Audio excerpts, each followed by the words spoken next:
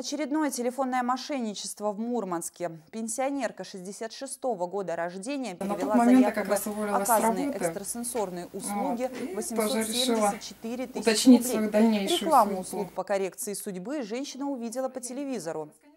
Пенсионерки перезвонили на следующий день, взяли номер мобильного, по которому далее проводили специальные сеансы. Стоимость первого такого звонка составила 16 тысяч рублей. Цена за каждый последующий увеличивалась в разы. В тайне от родственников пенсионерка взяла крупный кредит в банке, а когда деньги закончились, мошенники сообщили ей, что если не скорректировать судьбу ее сына, то он умрет.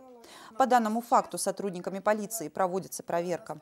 Полиция обращается к гражданам ни в коем случае не переводить свои денежные средства на неизвестные расчетные счета, а также передавать свои деньги неизвестным лицам либо посредникам. Если вы все-таки стали жертвой телефонного мошенничества, вам необходимо незамедлительно обратиться в полицию по телефону 02.